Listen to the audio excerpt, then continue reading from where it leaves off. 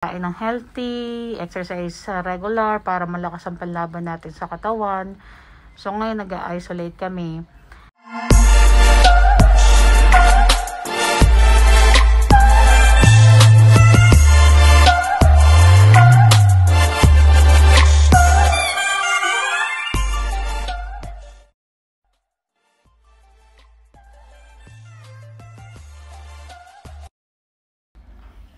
Hi guys! Hi guys.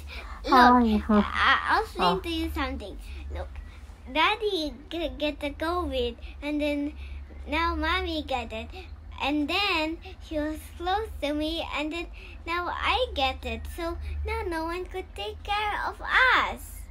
Pero hindi naman sure na meron ka kasi nag-test ka naman, negative ka naman, pero may fever ka. May fever ako, pero wala akong COVID. That's why we all get it. So now we no one could take care of us.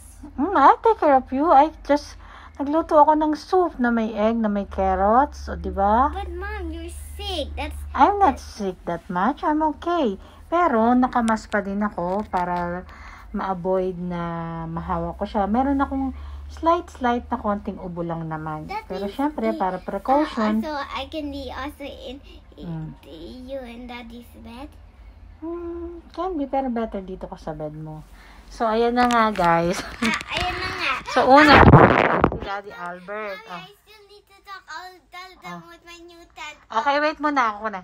Ayun na nga nangyari sa amin. Unang nagka sipon si Daddy Albert. Tapos, ah, konting ubo. Konting ubo lang. Pero, syempre, kasi nagtat lumalabas siya, nagtatrabaho siya, hindi mo iiwasan. Nagkaroon siya ng Hi, guys. interaction. Teka lang! Nagkaroon siya ng interaction sa isang client niya na nag-positive. So, nagtest naman kami. Thank God, awa ng Diyos negative naman yung yung rapid test namin. So, pero syempre para maiwasan, nagkamask kami rito para ma-avoid din kay Alec. Pero ako, hindi naman ako nilagnat, wala namang lagnat, wala kahit ano. Konting-konting mga paisa-isang ubo lang. That's it. Syempre, kain pa rin kami ng madaming gulay para panlaban. Si Alec, kahapon, nilagnat ng slight. So, pinainom ko siya ng paracetamol. Mm. Can I talk now? Oh. Oh, now I'm in Siya my daw new magtatalk. tent. I'm I'm having so many toys here in my bed and also co- cozy bed sheets and then my, my my mosquito flying net like this web like a web and then it's my new tent a mattress see I have full of toys big Wow. toys, small toys, you know. Mm, ayun. So, kami, nag-isolate lang kami dito sa bahay. Siyempre, kahit walang ganong symptoms, dapat wag lumabas.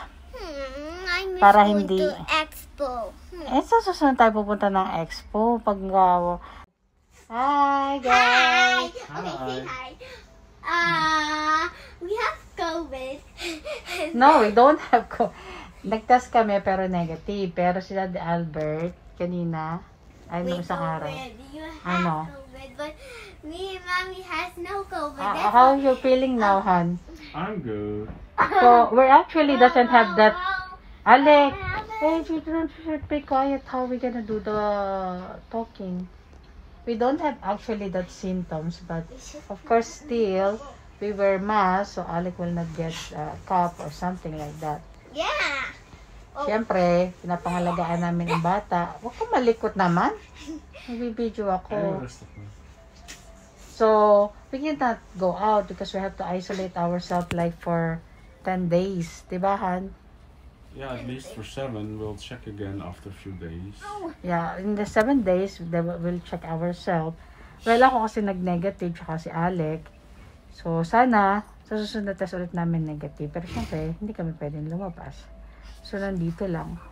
Magluluto ako mamaya ng healthy soup, chicken soup para sa amin. Ayun lang. We'll update you sa aming isolate. Ano, how you call it?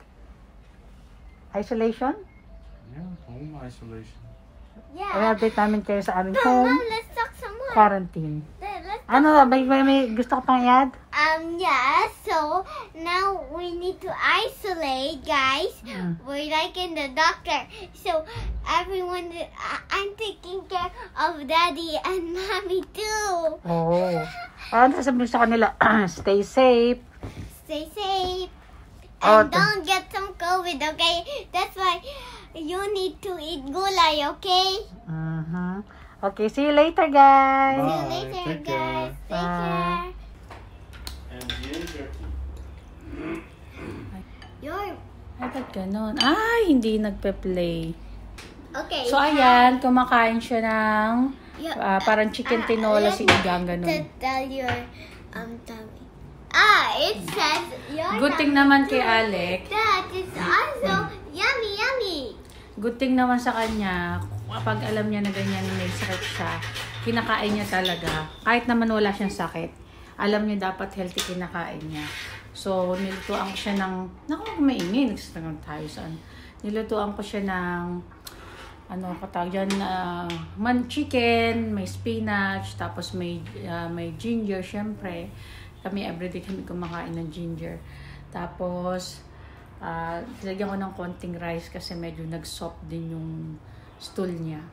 So, may rice at saka chicken para mas... Tapos pinakulaan ko ng matagal kasi pag pinakulaan mo ng matagal yung manok, so mas lumala siya sa sabaw, di ba? So, mas maganda ah mahihigop. Kung hindi siya masyado makakain ng laman, mahihigop niya yung sabaw. Tama? Hmm. Ano sabihin? So, guys, Mm. mommy made me feel better already. Hmm. Like what we said.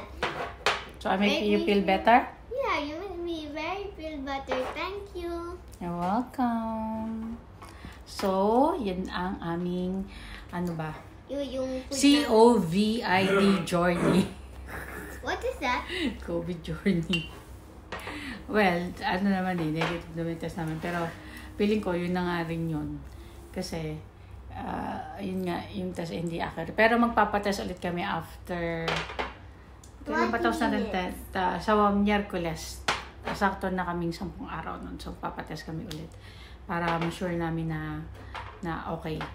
Hmm, diba? Thank you. Thank you. I, I have also something Oh. to say. So, guys, now now we're in the COVID test. And now is COVID. Kuling nakukulong kam, kami. So, now we cannot go outside anymore. Huh? It's only for a few days. And I still is going to Expo. I want to After. go ah, ah, ah.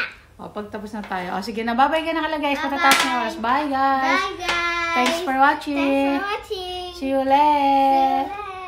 Sa aming next